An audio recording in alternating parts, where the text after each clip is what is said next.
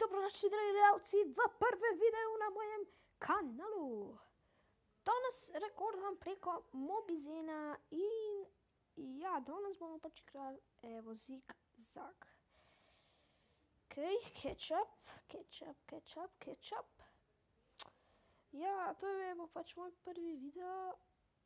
V komentarje napišite, kaj naj snemam, imam PS4 in lahko igramo raznovrstne igre.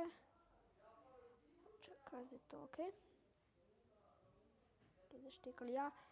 Veliko različnih iger, kot so na primer FIFA, Uncharted, GTA San Andreas, pač samo napišite igrico, ke hočete, da pač igram, lahko tudi kakšno kupim, a ne.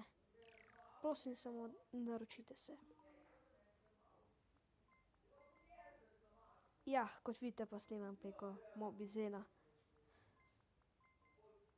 Ajde, še ne, v bistvu ne, nič.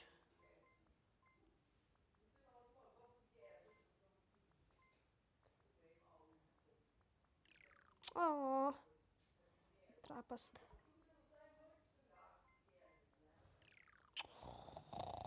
Kot vidite, moj najboljši dvesto trideset, ja.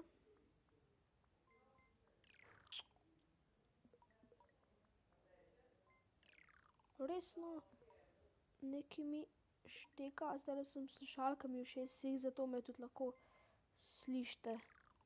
In zdajle sem si jih mogel popraviti, zato sem tudi evo, zdaj bom pa podaril score, evo. Lahko tudi igram kakšne različne igrice na telefonu. Kakršnekoli hočete in si bom naložil. In ja.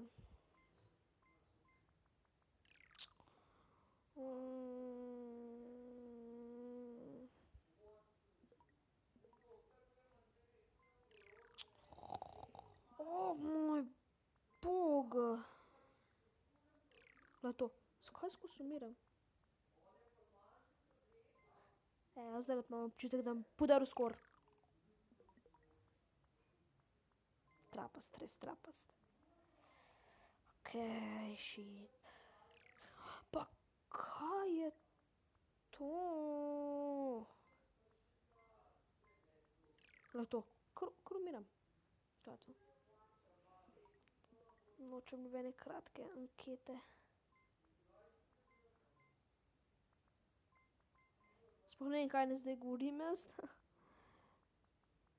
Ke sem komaj danes pa začel svoj kanal. In ja, res ne vem, kaj naj govorim.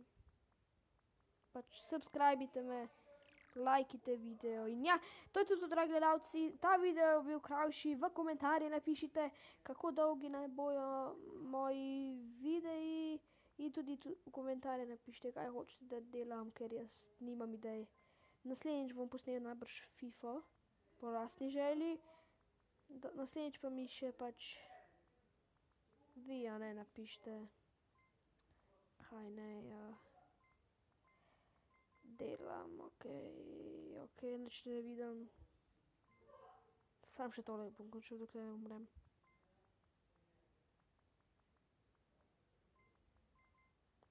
Resno, ga končujem z videom, mi gre pa dobro, kaj?